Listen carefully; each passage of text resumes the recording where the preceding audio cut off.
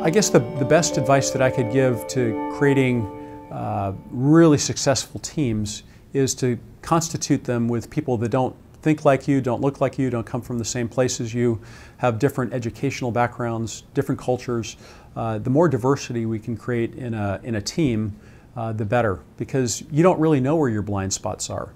Um, so th that's one of the, the most successful strategies that I've, I've used and I would recommend to you.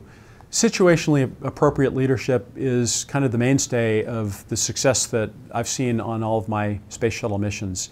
It's not always the, the person that has the title that has the knowledge or the situational awareness to make the critical decision. Many times in a, in a normal flow of activities, uh, you can work by consensus, but there are times when a leader has to lead, and it may not be the person who's designated the commander. It may be the person who has the deepest systems knowledge. It may be the rookie astronaut who has the, the knowledge or the insight or even just an orthogonal view that everybody else, because they have tunnel vision from their years of experience that you know, they could not see. We don't know what we don't know. And, um, and so I've often asked, after working with a, a, team for a while, how's it, how's it going? Am, am I you know, saying too much, too little, um, you know, is the, is the uh, creative spirit of the team, you know, working?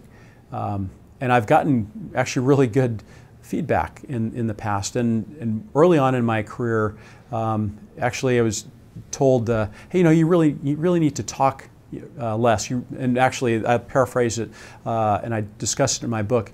You need to shut up more, and that's a hard thing to hear but um, as, a, as someone who wants to get the best out of his or her team, you really need to, to, to listen to everybody around the table. And even if you have the right answer immediately, sometimes it's good to sit back and let the junior people speak and, and you know, really take turns.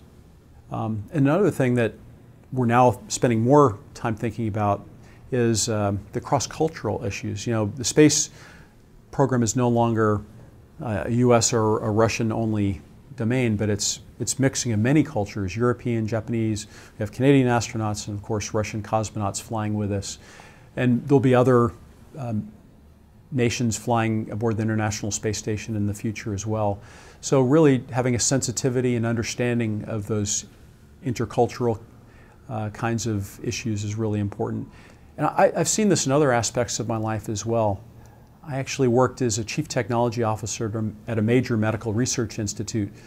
And I created these innovation teams that were comprised of not just physicians and traditional engineers, but uh, nurses and, and respiratory technologists and physical therapists, and even lawyers and, and business people, uh, people that don't necessarily think alike. But it was really fascinating to see the people that came up with these really wonderful ideas. Uh, Oftentimes it was the nurses uh, who came up with the best ideas. They're on the front lines of medicine. They see the things that are going well in, in healthcare and the things that aren't. They come up with these jury-rigged uh, innovations that turn out to be really, really useful in patient care. So um, I always place great value in creating multidisciplinary teams and, and really try and focus on uh, empowering situationally appropriate leadership.